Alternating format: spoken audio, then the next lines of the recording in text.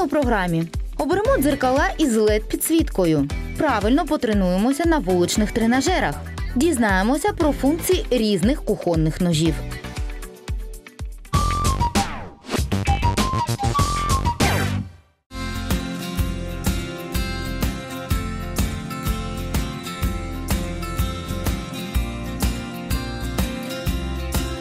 Сегодня мы поговорим э, о зеркалах, о пару слов о, в принципе, зеркалах в интерьере и, в частности, о ванной комнате, о тенденции на зеркала с LED-подсветкой, какие бывают, стоит ли оно того, чего вообще это, в принципе, может стоить и с какими функциями. Зеркала с LED-подсветкой, пожалуйста, очень распространенное явление, да, подсветка как фронтальная, так и настенная. Подсветка может быть линиями, вертикальными, горизонтальными, с каким-то нанесением рисунка пескоструем. То есть тут мы в моделях вообще не ограничены, как и в форме. Срок действия такой ленты эксплуатации порядка 50 тысяч часов. То бишь этого хватит не на один год. И впоследствии заменить такую ленту ну, не является большой проблемой. Способы управления таким зеркалом. Это может происходить либо физически, механически, да, то есть вкл-выкл кнопкой на корпусе, либо уже мы посмотрим на более такую новую модель, новый способ, это сенсорные кнопки. Сенсорная кнопка, у нас сразу есть второй сенсор, тоже можем затронуть функцию таких зеркал. Э, это слышно щелчок, это у нас тен. Включился подогрев зеркала. Зачем это нужно? Чтобы в момент, пока вы принимаете душ, пока пар набирает, нагревается комната, чтобы зеркало не запотевало. Как же определить, что это зеркало стоит своих денег, стоит его купить, зеркало хорошее? Э, обязательно края должны быть обработаны так еврокромка, да, то есть должен быть запил, срез, естественно, повышает э, степень защиты от влаги. Также можно присмотреться, на примере этих двух зеркал очень хорошо видно. Если смотреть в торец этого зеркала, оно будет зеленоватым оттенком. В то время как вот это передает идеально чистое, идеально передает все цвета. То бишь лист порезки зеркала, осветленный, очищенный, вот можно сравнивать само полотно с зеленоватым оттенком и абсолютно чистое. Очень популярным сейчас является не столько фронтальная подсветка, да, непосредственно, сколько освещение вокруг. То есть зеркало выступает таким акцентом формирования интерьера, да, подсветить какую-то плитку, возможно, ее структуру, либо, в принципе, что находится. Пожалуйста, очень популярная и в то же время, как и алюминиевые рамки. Зеркала без всякого рода подсветки, то есть ваша основная справляется, но обыграть вот эту рамку в любой цвет э, выкрашивания по RAL, то есть можно абсолютно в любой интерьер, под любой вкус, идею, желание реализовать. Как альтернативу можно еще рассмотреть такой вариант зеркала, когда сам светильник, тот же LED-светильник расположен либо на корпусе, либо выше. Э, тоже есть такая тенденция, что максимально минималистичным формируют зеркало, то есть больше предпочитают его дизайн, а освещение уже идет как вот такое небольшое дополнение. Производители предлагают, допустим, зеркала с функцией медиа. То есть, пожалуйста, воспроизведение музыки, также отображение температуры, времени, кому-то может быть очень удобно. Насчет работы, функциональности этого всего переживать не стоит. То есть степень влагозащиты для нахождения в ванной комнате там, на уровне современных смартфонов, так же самое, как и срок, срок эксплуатации, не один далеко год.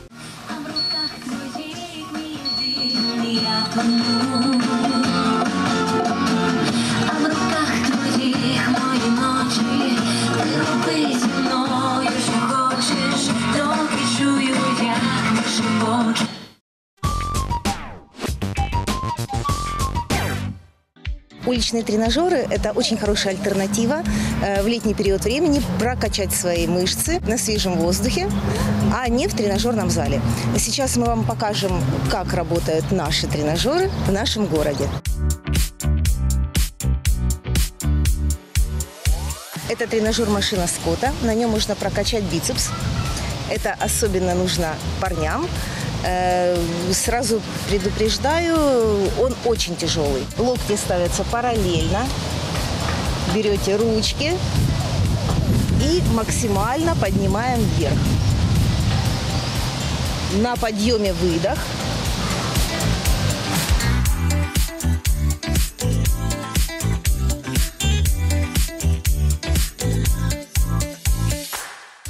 Это тренажер для проработочки плеча. Э, Включается центральный пучок дельтовидной мышцы, цепляет немножечко передний.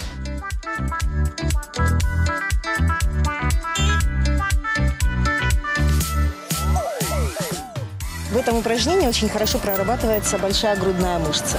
Разведение, сведение.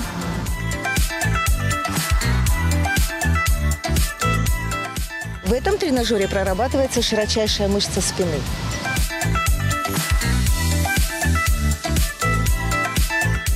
Это тренажер для выполнения упражнения «Становая тяга». Это э, одно из базовых упражнений. Прорабатывается большая ягодичная мышца, э, приводящая мышца, если чуть шире ножки поставить, бицепс бедра, также квадрицепс и разгибатель позвоночника.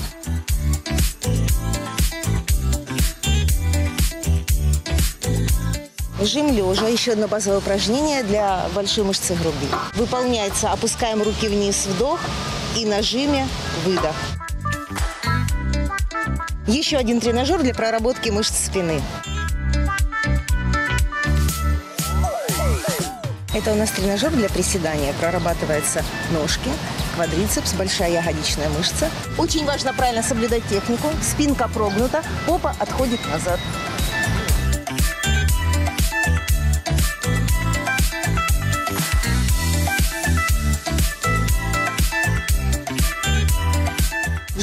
Ногами.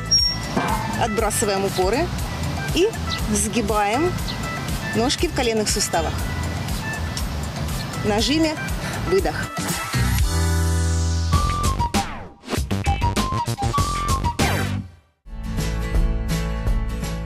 У любой хозяйки, либо у любого шеф-повара, кулинара, кондитера есть самый главный девайс, которым мы пользуемся очень часто. Без него не обходимся никогда.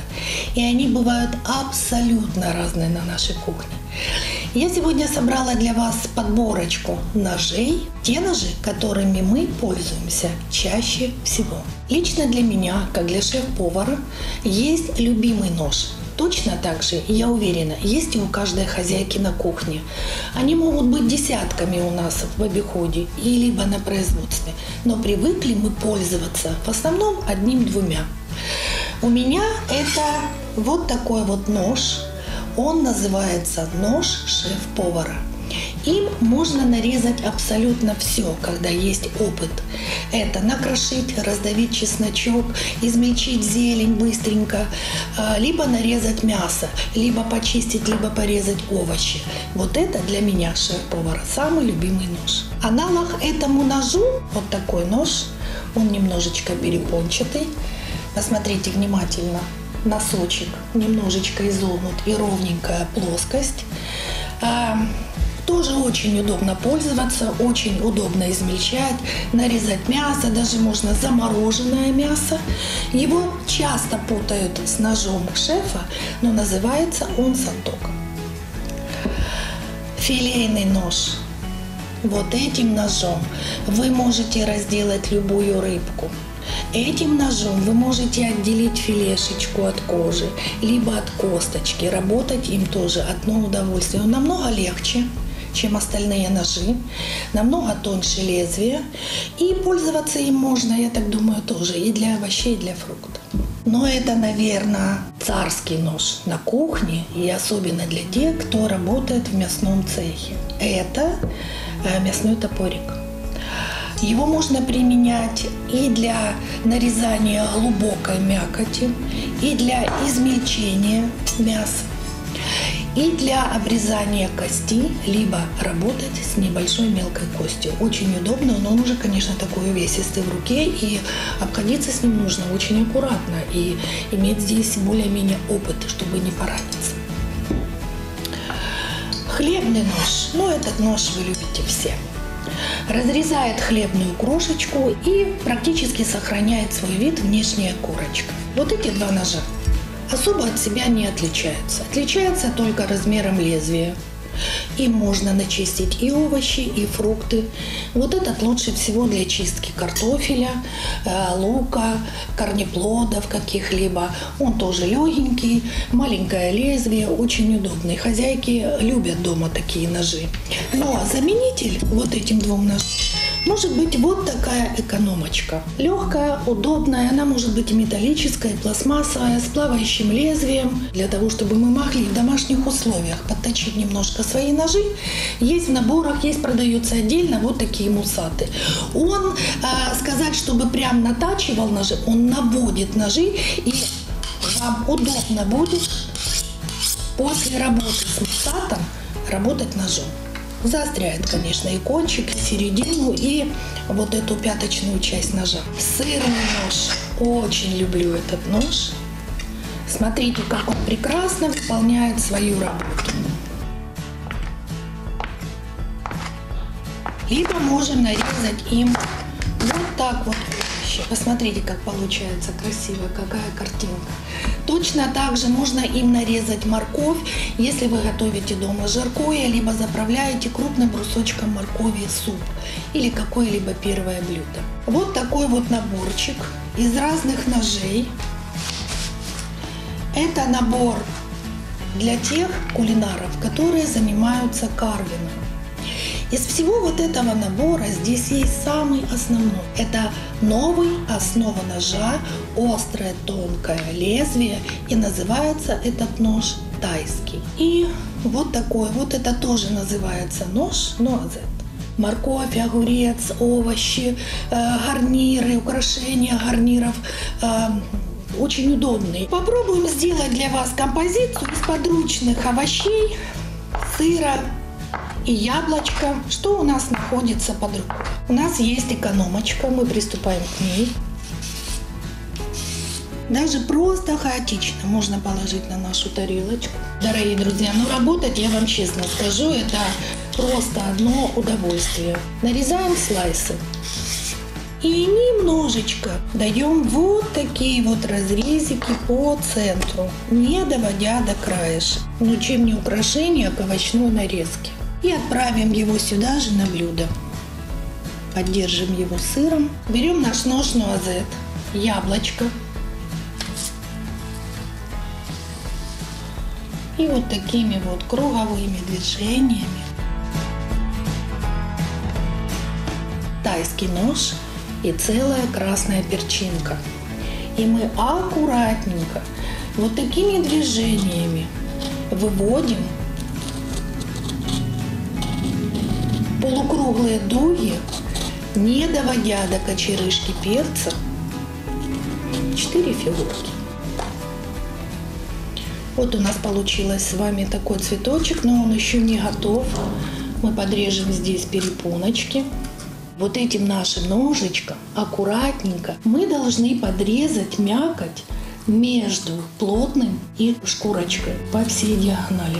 И всю эту прелесть мы отправляем на несколько часов в холодную или ледяную воду. Когда вы достанете из водички, перчина раскроется, у вас будет вот такой вот эффект мака. Мы отправим его тоже на нашу тарелочку.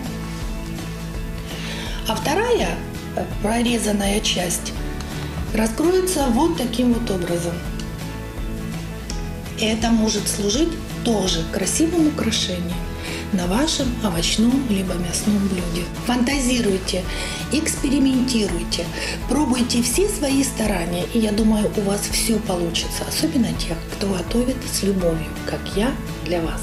Приятного вам аппетита!